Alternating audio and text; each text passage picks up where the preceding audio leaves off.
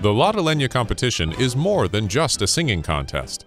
It rewards the overall impact of the performance, with emphasis on the acting as well as the singing. I started the competition in 1998, which was the centenary of Lotte birth.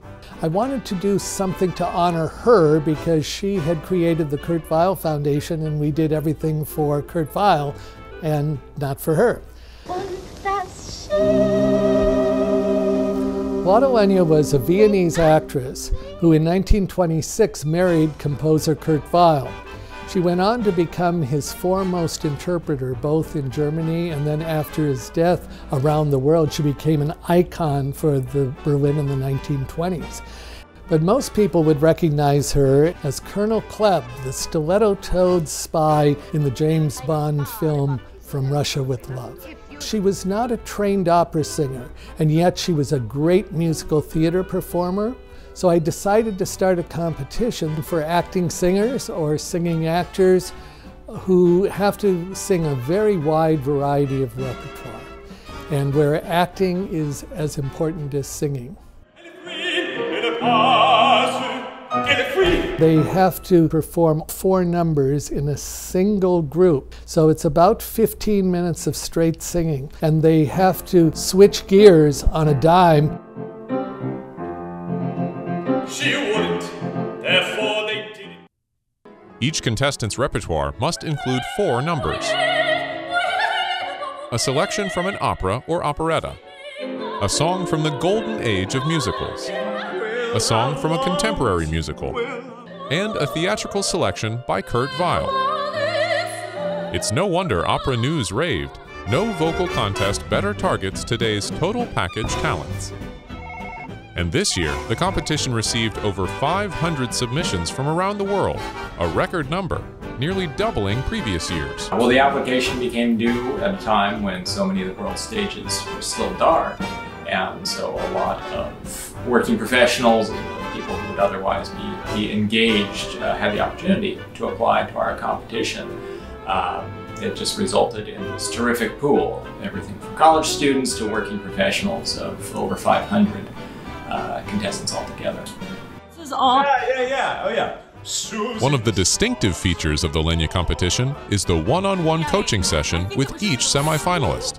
We really pride ourselves in making sure that anyone who enters the Lenya competition finds it both a learning experience and a validating one. No, keep it, keep the energy up, but just don't let that breath affect your body. Normally this is done in person, but because of COVID-19 restrictions, this year they were done remotely.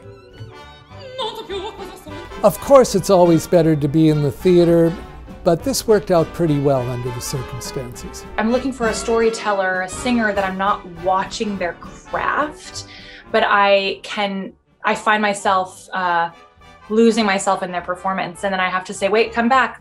Remember, you're, you know, judging this.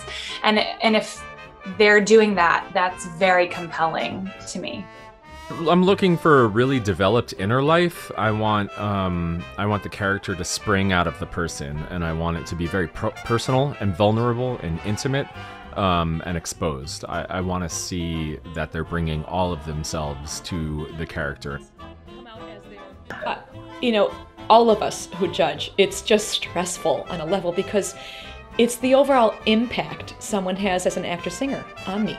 The stories they've told me and their freedom of their voice and how that they can embody a different character. So from 31 semifinalists, the judges narrowed it down to 15 extraordinary finalists. It's an exceptional group of 15 finalists, probably the strongest ever, and diverse and from around the world, and it's just going to be an exciting competition. I'm Katherine Riddle. My name is Ty Chiko. My name is Helen Zhibing Huang. I'm Rebekah Howell. My name is Andrew Polec. Monica Dewey. Kaileigh Riess. Taylor Alexis DuPont. Charles Eaton. Victoria Okafor. Katrina Galka. My name is Kaden Forsberg. Nicole Fernandez Coffaro. Gan-ya Ben-gur Akselrod. I'm Max Chernin. Watch as these talented young performers compete for the top prize of $20,000 and other prizes totaling over $75,000 and this year, a special prize in honor of Rebecca Luker, for an outstanding performance of a song from the golden age of musical theater. Luker served as a judge six times, including last year's semifinals.